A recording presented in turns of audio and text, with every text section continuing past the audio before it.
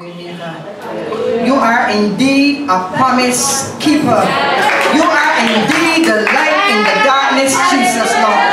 Lord, we can see what you are doing on our behalf day after day, Lord Jesus. Lord, we want to say thank you.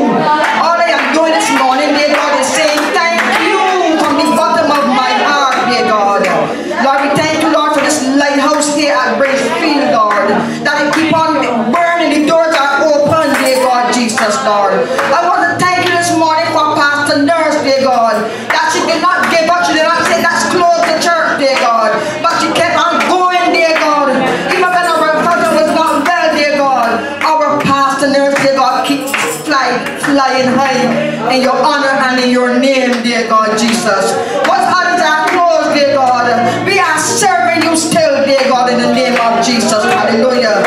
Lord, even in these perilous times, I can see a fresh anointing going through this church in the name of Jesus. I have seen, Lord, a fresh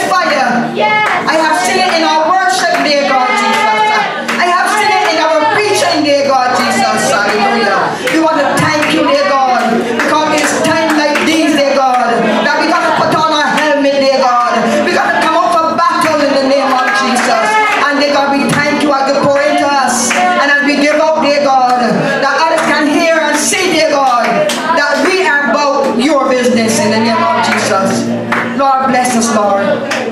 Bless each and every one of us, Lord. Where we fall short, dear God, help us, Lord, that we will pick back up in the name of Jesus.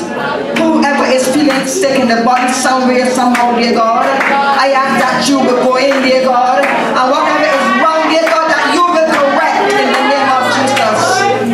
We intend to serve you. We are not giving up, dear God.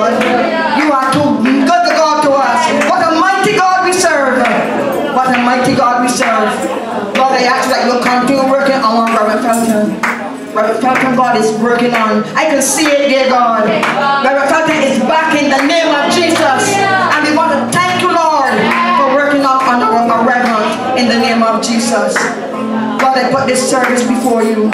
Lord, I put the word that is to come before you. Bless the speaker, dear God, in the name of Jesus. Lord, I feel good in my spirit. And it's all because of you, dear Jesus. And as we look forward to celebrating Christmas, Lord, let us not forget the reason for this season, Lord. Let us remember you, dear God. We want to thank you for your precious son, Jesus. So, dear God, I want you to put everything in your hands. In the name of Jesus, I want to thank you from the bottom of my heart.